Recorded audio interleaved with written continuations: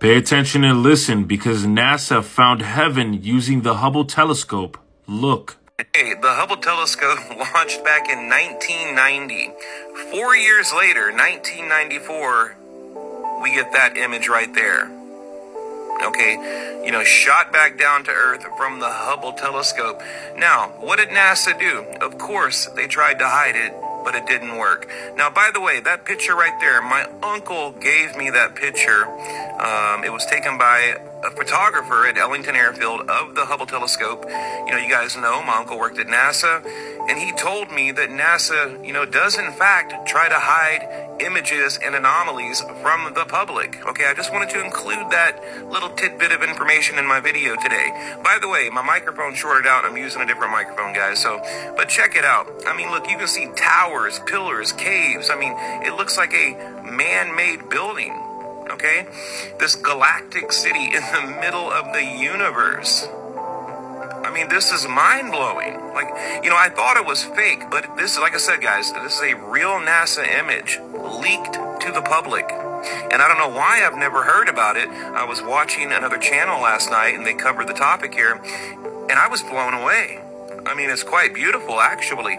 And uh, the crazy thing is, okay, when it was leaked back in 1994, it was one day after Christmas. So was that intentional? You know, because they're calling it, you know, the city of God. You know, so to me, I mean, I don't know, was that someone at NASA that, uh, you know, one is basically trying to send us, you know, the American people, the earth, the world, for that, for the world, really, when we're talking about the Hubble telescope, are, are they trying to send us a message? I mean, what are we looking at here, guys? Crazy. I mean, uh, it reminds me of like ancient ruins, like on Mars or the Moon, or you know, uh, or any planet for that matter. But but check it out, and it has like these weird domes and tower, almost like a watchtower, and you can you can actually see different rooms and I mean, to me, there, there's too many, there's too many shapes and there's too much geography there. It doesn't look natural. Okay. And again, it's very beautiful to look at. Um, you know, when I saw it, I just kind of stared at it for a while. I was like, wow, that is that is absolutely beautiful. But uh, I mean, right there, there's the original image right there. I did add a little bit of a filter, but like I said at the end of the video, I'm going to show you the original NASA image untouched, untouched. And also, we're going to zoom in here in a minute and, uh, you know, get a really, a, a, good close look at it. You know, because, um, you know, you guys know I do everything I can to, to show you every bit of detail. I mean, right there, guys. Here we go. We're going to zoom in a little bit. I mean, that to me, I don't know. That does not look natural. And why? Why would something like that be floating, literally floating in space, right? And right there, you see that little tower? And is that like a little moon? Maybe they have two moons behind them. It looks like a city. You know, like something you would see like on Google Maps. I mean, totally crazy.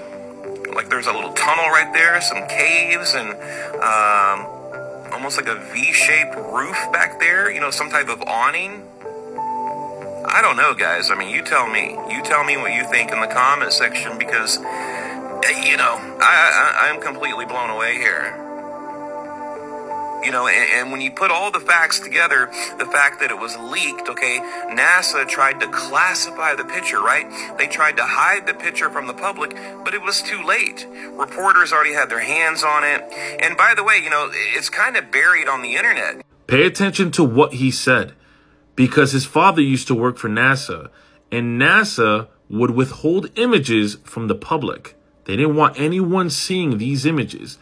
But this image right here is the one that got leaked in 1994. Now, the fact that this is a confirmed leak image from NASA and that the Hubble Space Telescope took this image, this holds some weight to it, and uh, I'm finding it hard not to believe. But I'm going to do some digging and see what I can find. All you got to do is continue to pay attention because things are getting weird.